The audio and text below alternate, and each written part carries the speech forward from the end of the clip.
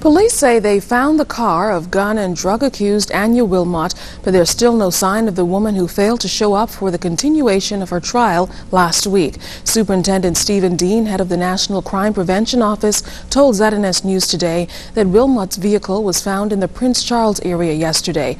They say the car was in good condition and didn't offer much in the way of clues about what may have happened to Wilmot. The 22-year-old was due to appear in court last week Tuesday, but never showed up. Police say as far as they know, she hasn't been heard from. They say they're still treating the case as a priority matter. Police have arrested two men and a woman in connection with Saturday's holdup of Burger King's Tonique Williams Darling Highway restaurant. Police engaged in a high-speed chase with the suspects in a gunfire exchange and one of the suspects ended up being injured. We'll have more on that tomorrow. Bahamian women diagnosed with cervical cancer and those susceptible to getting it will soon have more of a fighting chance of beating the odds. This according to the Minister of Health, Dr. Hubert Minnis, who says the HPV vaccine will soon be introduced locally. The vaccine, he says, is being introduced globally and once protocols are completed, it will be available here in the Bahamas. PV has just recently come in. We're not we're not using it now. Um, we're putting the protocol and policies in place for that so that that can be introduced. We see about 45 cases of um, um, cancer um, cervix um, annually, and therefore it'll be very significant in terms of preventing that. Well, speaking with stakeholders in the medical profession during a recent forum, Dr. Minnis also advised more widespread coverage of the influenza vaccine, a position with which Deputy Chief Medical Officer at the Ministry of Health, Dr. Delon Brennen, agrees. We also want the community to know that um, the influenza vaccine that we've been giving for some time should be um, given to not just a select group, but to, to um, the population at large. Um, we speak about um, um, flu, where you have about half a million people dying every year from flu. And if we have the vaccine, we in the Bahamas certainly would not want to fall within that mortality or morbidity category. And it's essential that our population understand that a lot of illnesses, disease, and deaths we can prevent.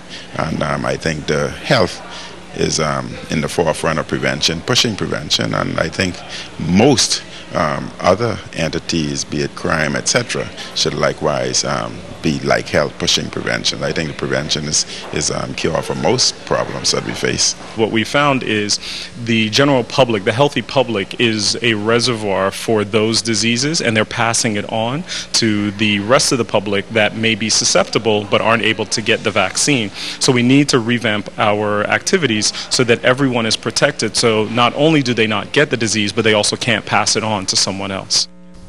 It's official. The Progressive Liberal Party headquarters, Gambier House, is now known as the Sir Lynden Pindling Center. A renaming ceremony took place on Sunday evening. Cyan Thompson was there. Progressive Liberal Party as they officially renamed the party's headquarters on Farrington Road in honor of their late leader and the man known as the father of the modern Bahamas, former Prime Minister Sir Lynden Pindling. Party officials, members of parliament, candidates, and supporters looked on as his widow, Dame Marguerite Pindling, and widow of George Mackey, former longtime PLP convention chairman, Mrs. Elizabeth Mackey, both unveiled the new sign labeled Sir Lynden Pindling Center. Party leader, the Right Honorable Perry Christie. The challenge that faces us now is to bind ourselves in unity and common purpose so that we can perpetuate that great and noble tradition of service that Sir Lynden gave so much power and meaning to during his years of service in our country. He continues to stand as a towering light on the landscape of our collective memory. Let us therefore resolve to move even closer to that light so that we too can leave our nation in a better position than what we met it in. Deputy Leader Philip Brave Davis also saluting the father of the nation and remembering his tireless work in building a new Bahamas. Sir Lynden had an uncanny belief. He had an uncanny, dedicated, committed belief in Bahamians and the Bahamian talents. Yes. And I was a beneficiary of that belief on a number of occasions. In life, he loomed large. In death, he continues to loom large. May his soul continue to rest in peace, and we will be always remember our Sir Lynden. Longtime friend and colleague, former Deputy Prime Minister and former Governor General, the Honorable Arthur Hanna, reminisced on the struggles he and Sir Lynden went through to build the country. And eventually, of course, he was able to convince the Bahamian people, and we moved on to independence. So, Pinling did, as I said, Pinling did a lot. That's right. He did more than that. It was the late George Mackey, the PLP party's historian, who recommended that the party's headquarters be renamed after the late national hero who died in the year 2000. Cyan Thompson, ZNS News.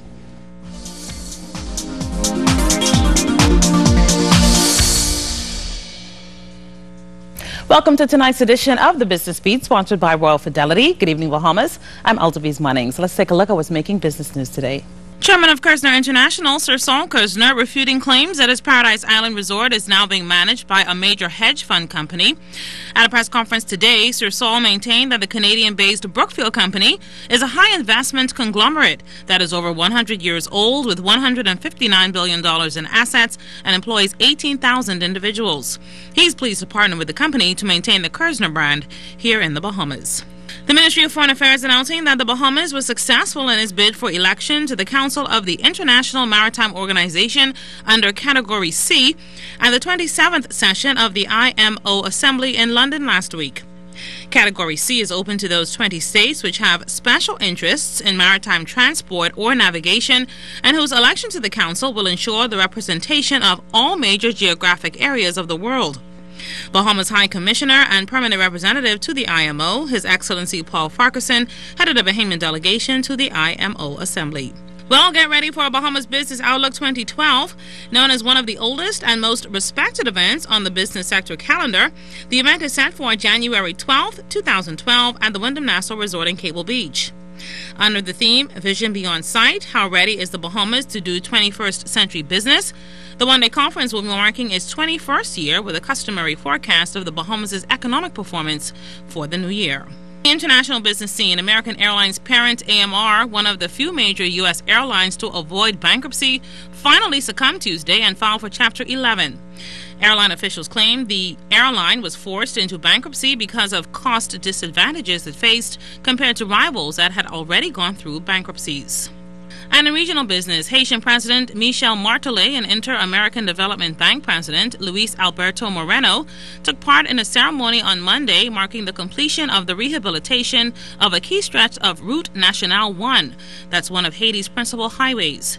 The IDB, Haiti's leading multilateral donor, provided $17 million for the rehabilitation of a 50 mile stretch between Port au Prince and the city of St. Mark. Remember, you can send us an email or join us on www.znsbahamas.com or become our friend on ZNS's official Facebook page.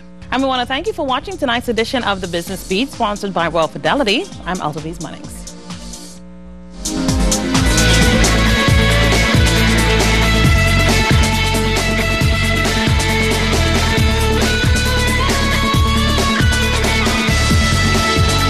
The American Heart Association changed the way we perform CPR last year, and experts maintain this is definitely the way to go. Now it's CAB. Compressions come first. Only then do we focus on airway and breathing. The only exception to the rule will be newborn babies. But everyone else, whether it's infant CPR, child CPR, or adult CPR, will get chest compressions before you worry about the airway you should call 911 or 919 the moment you realize the victim won't wake up and doesn't seem to be breathing right.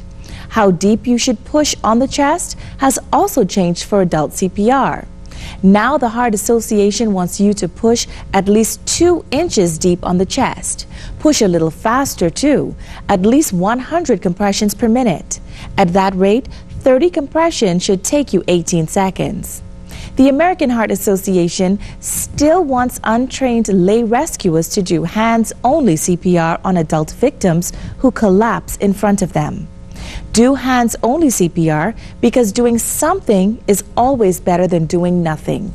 CPR is the only treatment for sudden cardiac arrest, and the AHA wants you to notice when it happens. Don't stop pushing. Remember, every interruption in chest compressions interrupts blood flow to the brain, which leads to brain death if the blood stops flowing for too long. It takes several chest compressions to get blood moving again, so you should keep pushing for as long as you can. When it's time to do mouth to mouth, do it quick and get right back on the chest.